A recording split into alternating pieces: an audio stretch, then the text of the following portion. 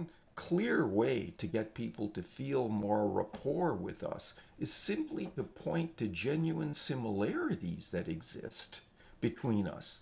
Right?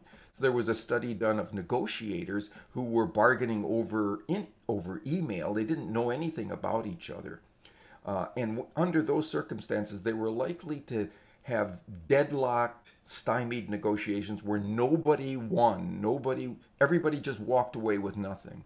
Right, thirty percent of the time. If before they began the negotiation, they sent information back and forth to one another about their hobbies, their interests, where they grew up, uh, you know, uh, uh, th- that sort of thing, where they went to school. Stymied negotiations dropped from 30% to 6%. Why? Because inside that information, people encountered commonalities